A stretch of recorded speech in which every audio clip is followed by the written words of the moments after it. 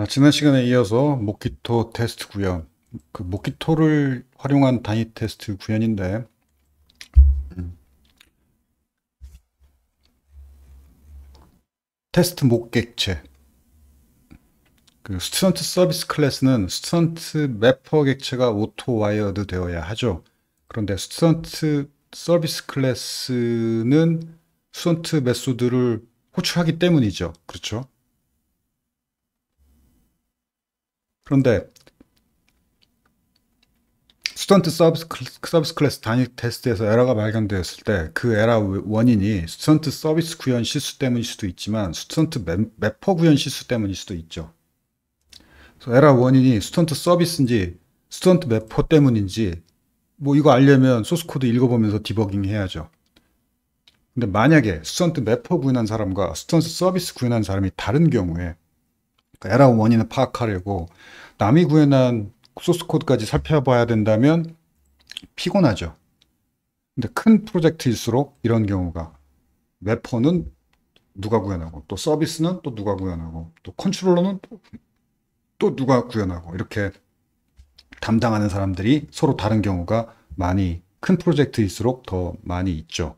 이 경우에 에러 원인 파악하려고 남이 구현한 소스 코드까지 읽어봐서 어디에 문제가 있는지 파악해야 된다면 피곤하죠. 그리고 만약 에러 원인을 끝까지 찾지 못했을 때 이 에러 책임이 누구에 있는지 뭐 너 때문이야 아니야 너야 뭐 서로 뭐 이렇게 티격태격 할 수도 있고 그래서 그러면 또 에러 원인이 어느 쪽에 있는지 모를 때 테스트할 때는 보통 둘이 다 같이 그 같이 분석하면서 같이 일해야 되겠죠. 만약에 그 에러 원인 찾기가 너무 힘들어서 야근까지 해야 돼요. 그런데 알고 봤더니 내가 짠 소스가 아니라 저 사람이 짠 소스의 원인, 원인이 있었어요. 그러면 내가 실수한 것도 아닌데 저 사람의 실수 때문에 야근까지 해가면서 디버깅 한다고 고생하는 게 억울하지. 그래서 그렇게 큰 조직에 실력 있는 프로그래머들은 내가 구현한 클래스를 단위 테스트할 때 다른 팀원이 구현한 클래스를 호출하지 않고 단위 테스트를 구현해요. 이게 또는 실력 있는 프로그래머 같은 경우는 둘다 mapper도 내가 구현했고 서비스도 내가 구현했더라도 그 좀 더 엄격하게 엄격함을 그 강조하는 차원에서 역시 마찬가지로 그 mapper를 호출하지 않고 student mapper를 호출하지 않고 student service를 테스트하는 식으로 그렇게 구현을 해요. 그러면 이제 테스트에서 실패했으면 이게 student mapper를 호출 안 했으니까 student service에 문제 있는 게 확실하죠. 문제의 원인 찾기가 쉽죠. 그래서 어떤 클래스의 단위 테스트를 구현할 때 이미 검증된 라이브러리, 버그가 없다라고 이미 검증된 라이브러리 클래스를 호출하는 것은 문제가 없지만 아직 검증되지 않은 그래서 혹시 버그가 있을 수도 있는 그런 클래스를 호출하는 것은 다른 팀원이 구현한 클래스를 호출하는 것은 아까 말한 대로 버그가 있을 때 도대체 그 누가 짠 코드에 버그가 있느냐 이거 분석이 어렵기 때문에 안 되고 엄격하게 하자면 내가 짠 소스라도 따로따로 떼서 테스트하는 것이 결과적으로 더 바람직합니다.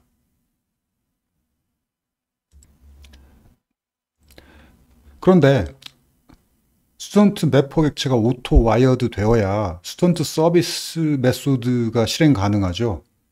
그렇죠. student service가 student mapper의 method를 호출하니까 student mapper 없이 어떻게 student service를 테스트한단 말이냐?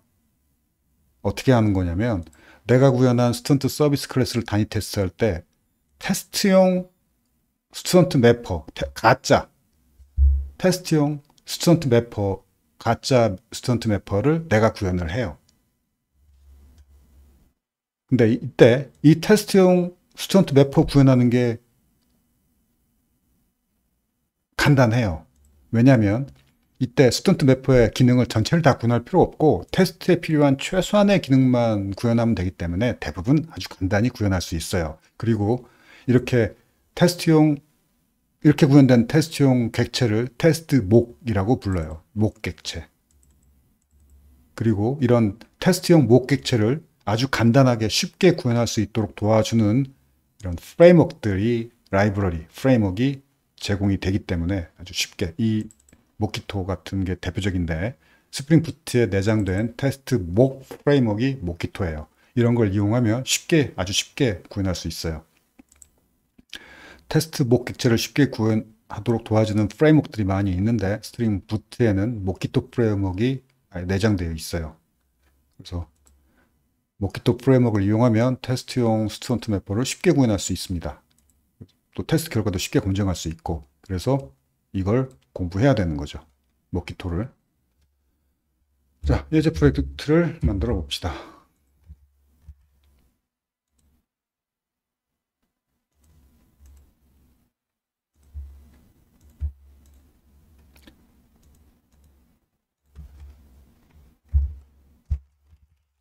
To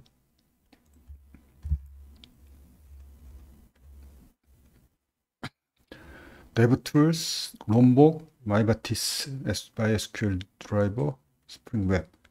평범하죠? 롬복, DevTools, 마이바티스, 스프링 웹, MySQL 드라이버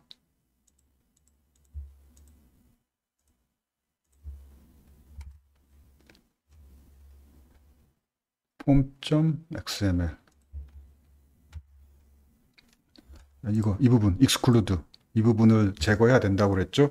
이게 이 노란색 부분이 JUnit 5 버전용 설정이라서 우리는 아직 JUnit 4, 4 버전을 사용할 거라서 저걸 지워줘야 돼요. 5를 사용하게 될 때만 이걸 놔두, 놔두고 우리는 아직 4 라서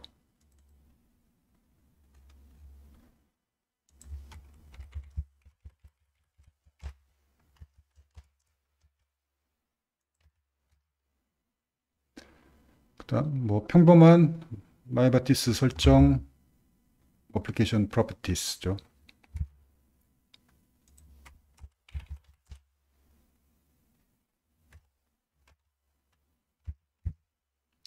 그 다음에 평범한 스튜던트 DTO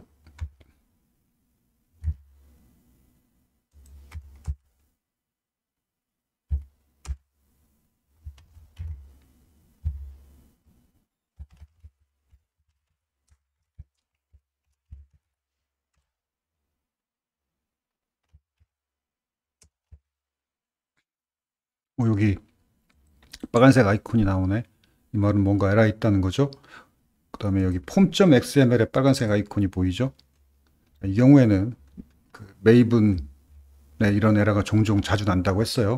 이때 해결하는 방법은 여기 여기 프로젝트 이름을 우클릭하고 Maven update project 단축키가 Alt F5예요. 이거 단축키 외워두는 게 좋아요. 이런 에러가 종종 나니까 pom.xml에 이렇게 빨간 아이콘이 떴다. 그러면 Maven update project 하면 돼요. 그럼 10중 8구 해결이 돼요. 여기 progress가 보이고 자, 해결됐죠. 이런 에러가 종종 발생하니까 단축키 Alt F5 그래서 Maven update project 오케이 기억해 두기 바라고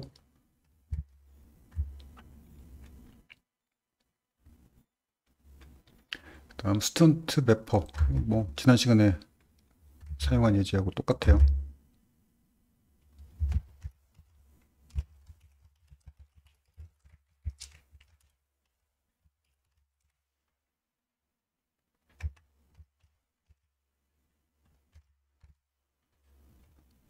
다음에 student service. 자 이걸 단위 테스트 할 거예요 student service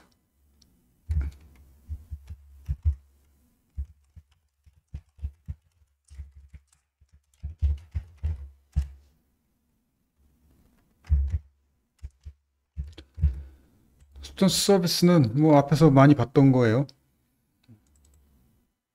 find all, find by ID, has errors. 그 학번이 중복되는지 확인하는 게 들어있죠. 학번이 중복되는지. 학번이 중복됩니다.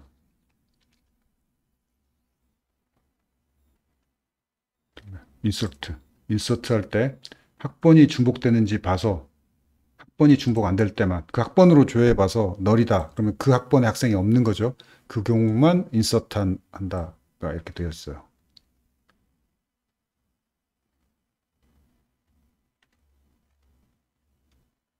student 테스트, 서비스 테스트 구현 테스트 밑에 테스트 우클릭하고 new JUnit 테스트 이렇게 테스트 클래스를 만드는 게 좋고 여기 테스트. 클릭하고 new JUnit test case. 여기 JUnit 4를 골라주고 패키지는 똑같이 테스트할 클래스가 student service고 그거의 패키지가 net SKU 서비스니까 똑같이. 그리고 여기 student 서비스의 테스트 테스트 클래스다. 이렇게 적어주면 되죠.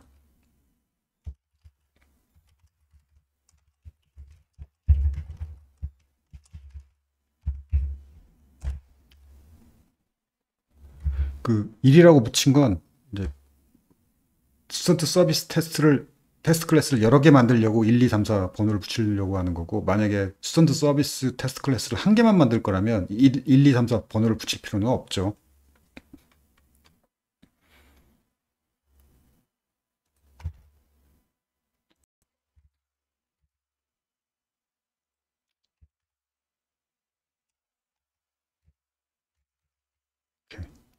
테스트 밑에 만들어졌는지 꼭 확인하고 테스트 밑에 패키지가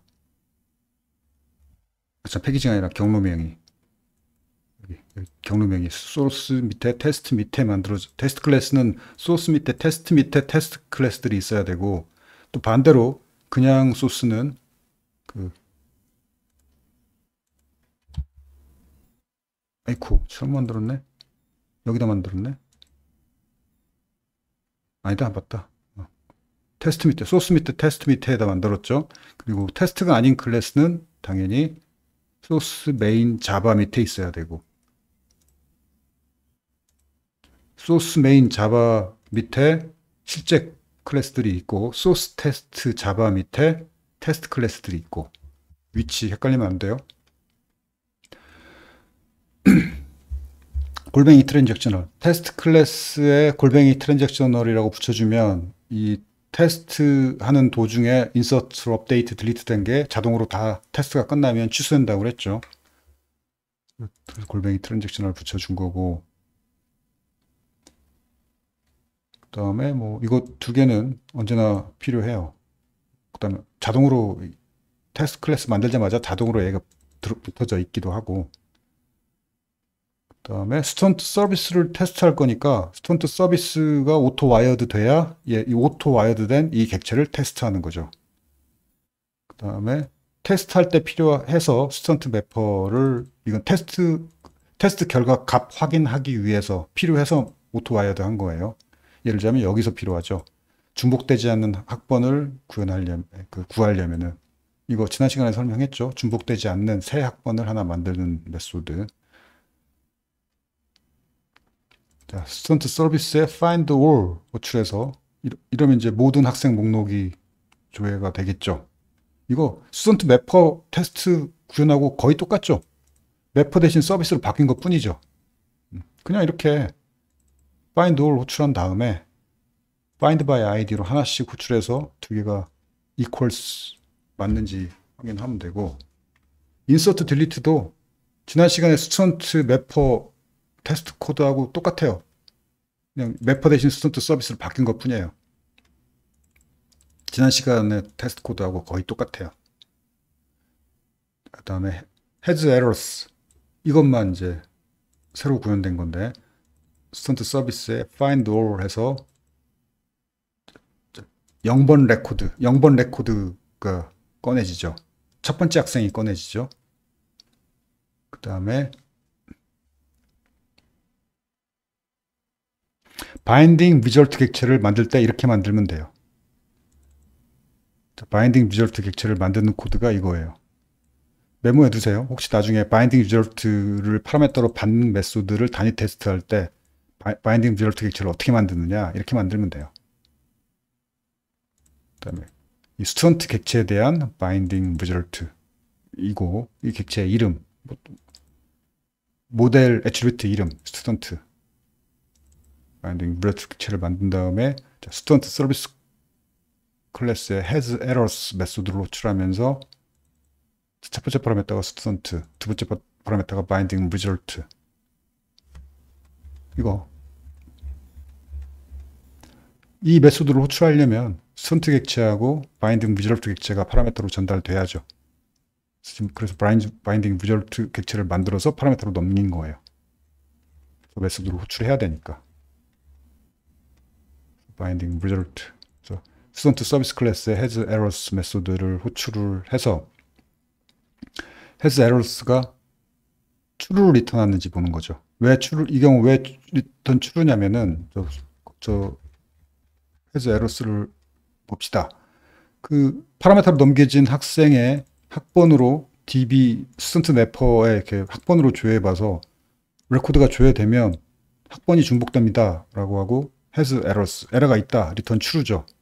여기 리턴 true. 이걸 확인해 보는 거죠.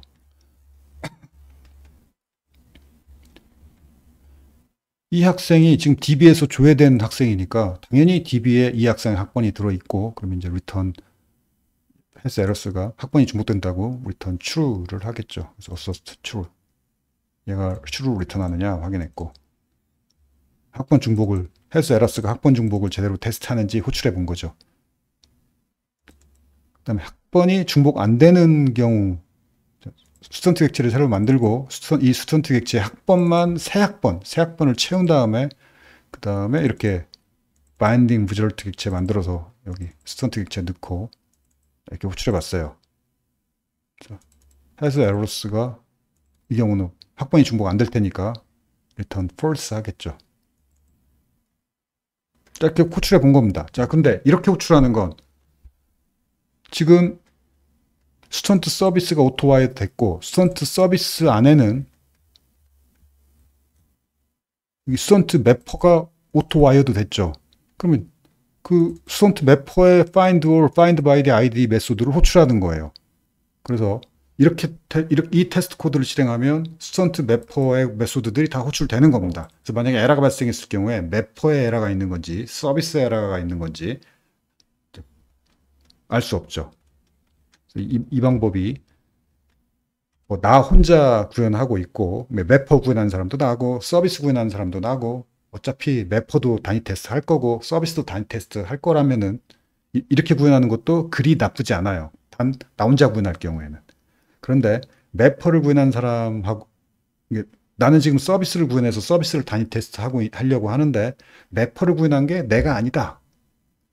그러면 내가 구현하지도 않은 매퍼까지 이렇게 실행 맵, 맵퍼에 혹시 에러가 있을 경우에 에러가 나는 이런 방식으로 구현하는 건 바람직하지 않고 자, 그래서 모키토를 활용해서 테스트하는 게 바람직해요. 자, 이렇게 student 서비스 테스트 2 Mockito를 이용해서 테스트하기.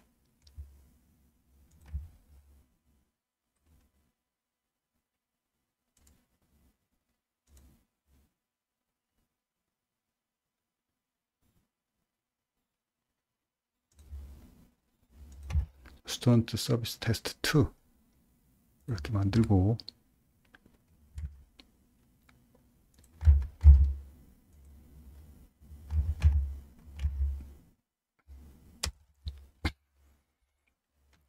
테스트 클래스에는 언제나 이 게 붙어야 되고 골뱅이 transactional은 안 붙었죠. 왜냐하면 DB 호출 안 할 거예요. 왜냐하면 student mapper 호출 안 할 거니까. 그러면 뭐 자, 가짜 student mapper를 사용할 거예요.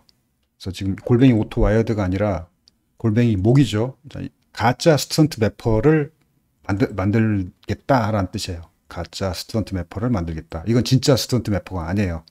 그래서 진짜 student mapper는 DB를 호출하지만 이 가짜 student mapper는 DB 호출 안 해요. 그리고 골뱅이 transactional도 필요 없어요. 그리고 골뱅이 inject mocks student 서비스 골뱅이 inject mocks는 말 그대로 여기 student 서비스에 이 mock객체를 inject해라 집어 오, inject가 autowired하고 같은 말이에요. autowired를 inject dependency injection 집어 넣어라. 그래서 지금 이렇게 만들어지는 inject mocks student 서비스 이렇게 만들어지는 student 서비스 객체 안에 autowired student mapper에는 이 여기서 만들어진 가짜 student mapper mock객체가 inject 돼요. 그래서 이렇게 만들어진 student 서비스는 진짜 student mapper를 호출하는 게 아니라 가짜 student mapper를 호출하게 돼요. 이 가짜 student mapper는 내가 만들 거예요. 자, 이게 mock을 이용한 단위 테스트입니다. student 서비스가 가짜 student mapper mock 객체를 이제 호출하게 됩니다. 진짜 student mapper 객체를 호출하지 않아요. 그 다음에 골뱅이 before. 이 골뱅이 테스트는 테스트 메소드고 골뱅이 before는 골뱅이 테스트 메소드를 호출하기 전에 얘가 호출이 됩니다. 매번.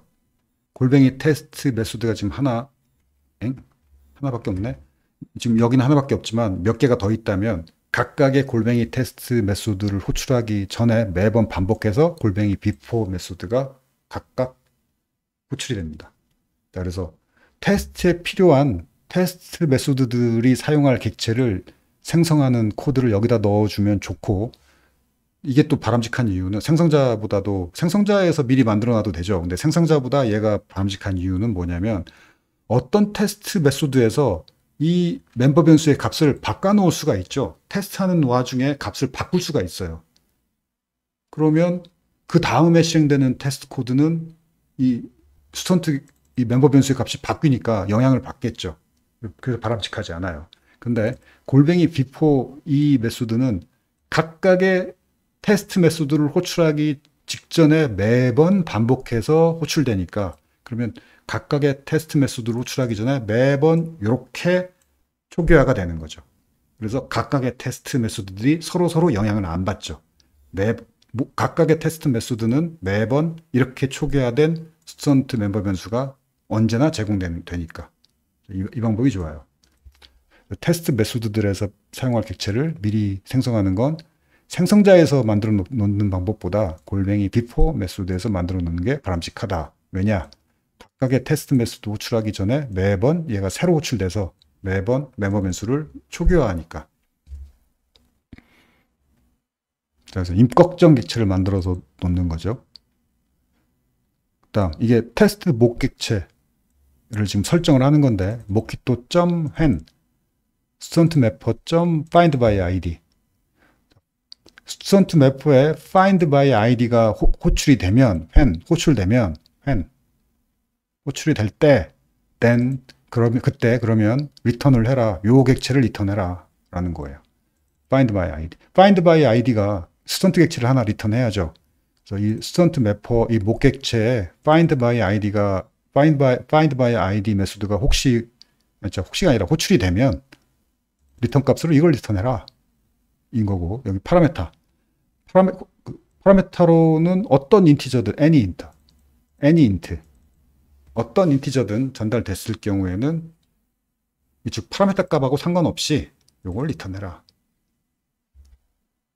그래 놓고 스턴트 서비스의 find my id 메소드를 호출합니다. 그럼 스턴트 서비스의 find, find by id는 student mapper의 find by id를 호출할 텐데 그 student mapper가 이 가짜 이 목객체니까 얘를 리턴하겠죠. 아이디가 뭐가 됐든 여기, 여기서 파라메타로 전달하는 아이디가 뭐가 됐든 리턴되는 이 객체는 요 객체, 요 객체가 리턴될 겁니다. 자, 그래서 equals를 확인하는 거죠. 즉 여기서 뭘 테스트했느냐? student service에 find by id가 student mapper에 find by id를 호출했고 요 이 find by id가 리턴하는 객체를 잘 리턴하고 있느냐 그걸 확인하는 거죠. 일단 assert equals로 리턴 값이 맞는지 확인해 보고 그 다음 이것도 확인하는데 이게 뭐냐면 Mockito의 verify student mapper student mapper 객체의 메소드 호출을 verify 하는데 find by id가 호출됐고 호출됐고 그 다음에 파라메터로 전달되는 게 이 값이 맞느냐라고 확인하는 겁니다. 그래서 만약에 find by id가 여기서 여기서 호출이 안 됐거나 파라메터로 전달된 값이 이 값이 아니면 여기서 시, 테스트 실패하죠.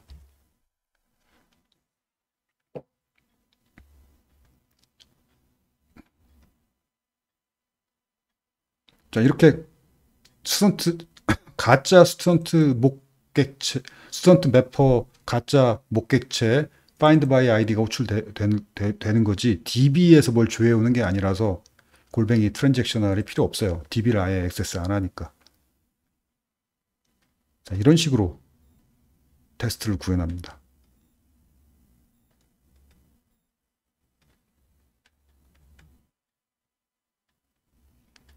말로 설명하는 걸 여기 다 적어 놨으니까 꼼꼼히 읽어보기 바래요. 실행해 봅시다.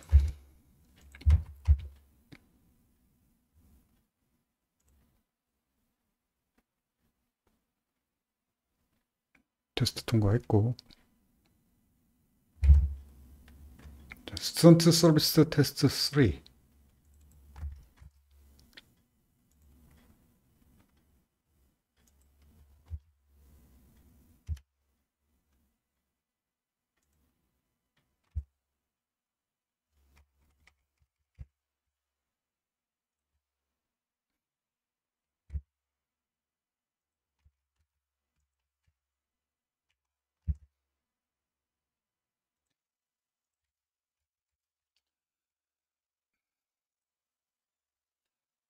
테스트 클래스에 이거 두 개는 언제나 붙어 있어야 되고 student mapper 목객체 그 다음에 이 가짜 student mapper를 student service에 inject 해라. 그리고 테스트에 필요할 멤버 변수들 이, 이 멤버 변수 초기화는 골뱅이 Before 메소드에서 이렇게 초기화 있어요. student 멤버 변수 초기화 student array list 이 초기화. test find all. student service에 find all 메소드를 호출할 건데 그러려면은 student mapper의 find all 메소드가 여기서 호출될 테니까 미리 이렇게 설정해야죠. 자, student mapper에 find all 메소드가 호출이 되면 그러면 이 객체를 리턴해라. 요 이렇게 만들어진 student 객체가 리턴 되겠죠. 그래서 find all 호출하면 바로 요, 요 객체가 리턴 되겠고 그러면 리턴된 객체가 요 객체 맞느냐 assert equals로 확인해 보고 리턴 값 확인해 보고 그 다음에 student mapper에 find all 메소드가 호출되었는지 verify 해보고. delete by id도. student service의 delete by id 3, id 3인 것을 리턴 값이 없으니까 이런 설정은 할 필요가 없죠. 리턴 값이 없는 메소드는 이렇게 설정할 필요도 없습니다. student service의 delete by id 이걸 호출하면은 리턴 값은 없으니까 요 설정 안 했고 그러면 이 안에서 student mapper에 delete by id를 호출해야죠. 그리고 요 값을 이렇게 그대로 전달돼서 호출했겠죠. 자, 그렇게 호출됐는지 확인합니다. student mapper에 delete by id가 호출됐고 파라메타로 3이 전달되었는지 verify 하는 거죠. has errors 이거 코드는 아까하고 똑같고 자 별로 어렵지 않죠? 그러니까 할 일을 똑바로 했는지 리턴 값이 올바로 리턴 되는지 이렇게 그 mock객체 설정하고 그다음에 테스트할 서비스 메소드 호출한 다음에 리턴 값 맞는지 확인해 보고 그다음에 그 mapper의 그 메소드가 제대로 호출되는지 확인하고 다 이거예요. 그래서 뭐 익숙해지면 뭐 금방 구현합니다. 별로 어려운 로직이 아니죠. student 서비스 테스트 4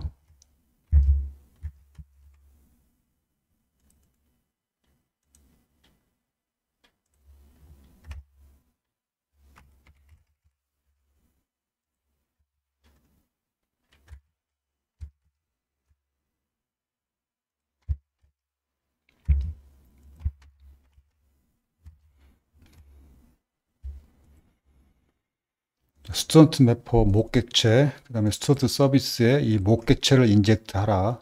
그 다음에 prepare, 골뱅이 before, 골뱅이 before, 테스트에 필요한 객체 미리 생성해서 멤버 변수에 대입하는 골뱅이 before. 자, insert, insert 메소드를 호출해 보는데 그럼 insert 메소드는 우리가 아, 아, 어떻게 구현했냐면 서비스 클래스의 insert 메소드는 insert 하기 전에 학번을 조회해서 그 학번이 있는지 확인하죠. 자, 그래서 스턴트 매퍼에 find by 스턴트 no 이걸 이 서비스의 insert가 이걸 호출하니까 여기, 여기 서비스 클래스 insert는 어떻게 구현됐냐면 학, 저장 insert 하기 전에 학번 조회해봐서 그 학번으로 조회해봐서 null일 경우에만 insert하고 null이 아닐 경우는 insert 안 해요. 즉 학번이 중복되는 학번이 있으면 아예 insert를 안 한다는 얘기죠. 여기 이 부분이 있어서. 그래서 insert 오케이, insert 성공하는지 insert 성공을 한번 테스트해 봅니다. 그 말은 스턴트 매퍼에 find by 스턴트 no가 너를 리턴할 경우에는 인서트를 호출하죠. Find by 스턴트 no가 너를 리턴하게 설정해 놓고 인서트를 호출해 봅니다. 그러면 student mapper에 mapper에 insert를 호출했겠고 이 insert 메소드의 파라메타로 얘가 전달됐겠죠. 이 파라메타가 전달됐겠죠. 자, insert가 제대로 호출됐는지 확인해 봅니다. 또 이번에는 학번 중복인 경우를 확인해 보죠. 학번 중복인 경우는 find by stunt no, stunt 매퍼에 find by stunt no가 널이 아닌 어떤 객체를 리턴하면은 그러면 그 경우에는 insert, student 서비스의 insert가 자, 이 부분이 false니까 null이 아니면 false니까 insert 메소드로 호출 안 하겠죠. 호출 안 해야 되는데 호출 안 됐는지 확인해 봅니다. 스턴트 매퍼에 여기 여기 보세요. 이, 이거하고 이거하고 비교해 보면 이 부분이 다르죠.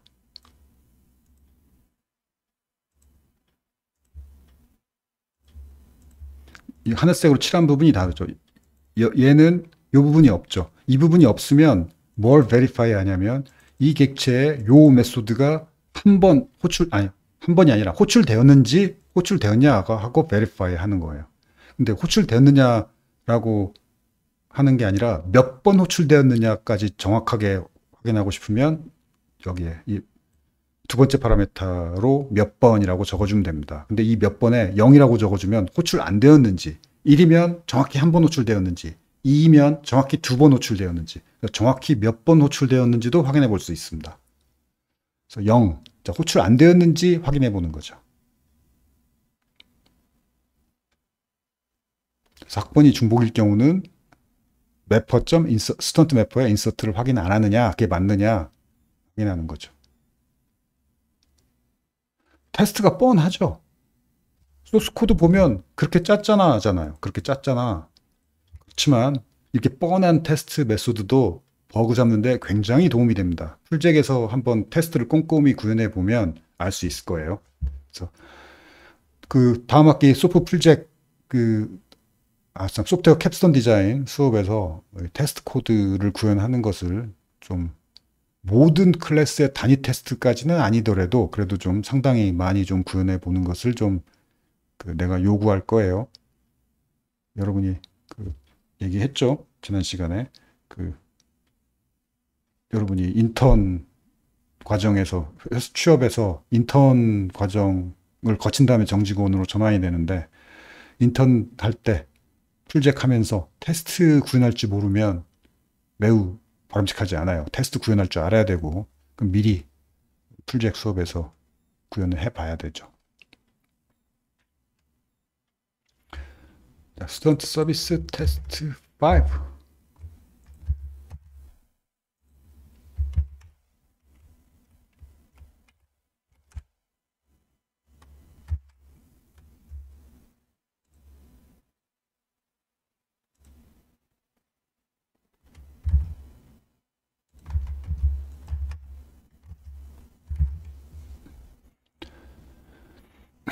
자, mock객체를 student mapper 같은 것만 mock객체로 만들 수 있는 게 아니라 아무 클래스나 다 mock객체, 골뱅이 mock해서 mock객체를 만들 수 있습니다. 테스트, 테스트에 필요한 뭐, 뭐 어떤 클래스든 다 mock객체를 이렇게 만들 수 있어요. 가짜 객체를. 그래서 그 student 객체 get student no 메소드가 호출이 되면 요 문자를 리턴해라 라고 설정해 놓는 거죠. 요 mock객체. 그 다음에 요 mock객체 find by student no 하고 정, 파라메터가 정확히 이거로 전달될 경우에는 요 객체를 리턴하라 라고 이렇게 mock객체를 설정했습니다. 그리고 student 서비스에 insert 메소드로 호출했어요.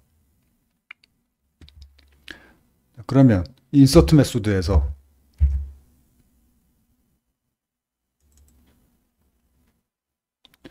여기 student get student no 왜냐면 학번으로 조회해 봐야 되니까 get student no 메소드로 호출하겠죠. 자, 요, 여기서 전달된 이 student 객체에 get student no를 호출할 겁니다. 근데 이게 사실은 가짜 목객체고 이 가짜 목객체 스턴트 no 메소드가 호출되면 이 문자를 리턴하겠죠. 여기서 그 저저 문자를 리턴할 거예요. 자, 그 문자를 파라미터로 스턴트 매퍼에 find by 스턴트 n를 또 호출하죠.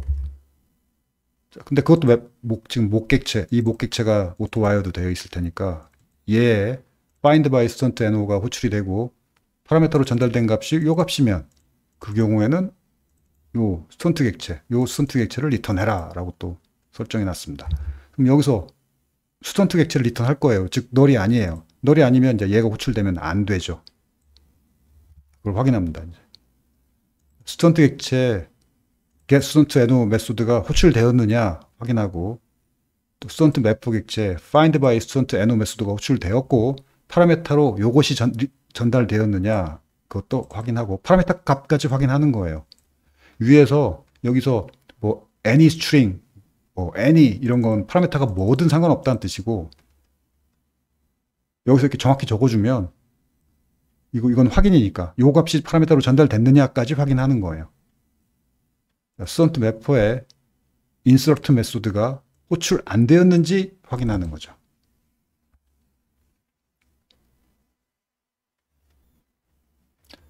실행해 봅시다.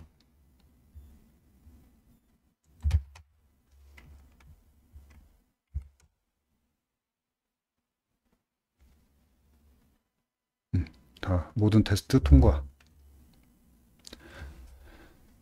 결론. 이게 팀 풀제할 때 굉장히 중요한데 그 내가 구현해서 잘 돌아가던 기능을 팀원이 어, 뭐 자기 기능 구현한다고 이것저것 건들더니 내가 짠 기능이 팀원이 망쳐서 안 돌아가는 경우가 비일비재하죠. 이거 피곤해요. 내가 기껏 잘 만들어 놨는데 팀원이 이것저것 건드리더니 뭐 되던 게 하나도 안 되는데 도대체 뭘 잘못 건드린 건지 팀, 팀원이 건드린 코드 이것저것 분석해 보는 거 머리 아프죠. 자, 그래서 이런 팀 작업할 때 이런 이렇게 팀 개발 작업을 진행하면 매우 바람직한데 누구든 팀원 누구든 어떤 기능을 구현하고 그 commit하기 전에 전체 테스트를 다 실행해 보는 것이 바람직하다는 거죠. 그래서 소스 코드가 수정되면 전에 잘 작동하던 기능에서도 에러가 발생할 수 있기 때문이죠. 그래서 여기서 commit이라고 적었지만 사실 commit은 테스트 다 실행해 보기 전에 commit은 해도 돼요. commit은 중간중간 해도 돼요. 그렇지만 push 혹은 merge push는 그 팀 공용 팀 공, 통 공유 repository죠. 내가 작업하는 건 local repository에 commit하면서 작업하다가 테스트 테스트 해보고 그 테스트가 이렇게 꼼꼼히 구현해 놨던 이, 이 테스트 코드는 각자 내가 구현한 코드를 테스트하는 코드는 내가 꼼꼼히 잘 만들어 놨어요. 그러면 어떤 팀원이 어떤 기능을 구현했고 그거 그 구현 이 구현이 성공을 선언하려면은 지금까지 팀원들이 쭉 구현한 모든 테스트에 이, 이렇게 녹색이 떠야 됩니다. 그래서 내가 실력 없는 어떤 팀원이 남, 남들이 구현한 것을 망쳐버리면 이 테스트에서 뭔가 걸리겠죠. 그래서 테스트에서 빨간불이 뜨면은 그 문제를 해결하기 전까지는 절대 master branch의 merge는 물론 그건 아주 엄격하게 막아야 되고 모든 테스트의 green light가 뜬 코드만 구현이 성공한 코드인 거고 그 코드만 master branch에 merge 돼야 되고 뭐 에라가 빨간색 이 테스트 중에 하나라도 빨간색으로 뜨는 코드는 master branch에 merge될 수 없습니다. 좀 더 엄격하게 하자면 그 그건 그 중앙 공, 공통 repository에 push도 하지 말아라. 테스트 다 통과한 다음에 push해라. 이것도 바람직한 정책이죠. 그러면 내가 짠 코드에 대해서 내가 단위 테스트를 이렇게 꼼꼼히 구현해 놨다면 그러면 내가 짠 코드를 망쳐서 내가 짠 코드를 팀원 누군가가 망쳐서 되던 게 안 되는 순간 이 꼼꼼한 테스트 어딘가에 걸려서 에러가 빨갛게 뜨겠죠. 그러면 그 팀원은 그 코드를 push 못하는 거죠. 그러면 그럼 내 코드가 팀원에 의해서 망쳐질 일은 없는 거죠. 이거, 이거 중요해요. 실제 여러분이 팀 프로젝트 해보, 해보면 느낄 겁니다. 그래서 팀원이 내 코드를 못 망치지 못하도록 내 코드, 내가 구현한 클래스들에 대해서 단위 테스트를 꼼꼼히 구현해 놓는 것이 내가 디버깅 할 때도 도움이 되지만 팀원 누군가가 내 코드를 망치는 걸 막, 막기 위해서도 바람직해요. 여러 가지 이유로 바람직합니다.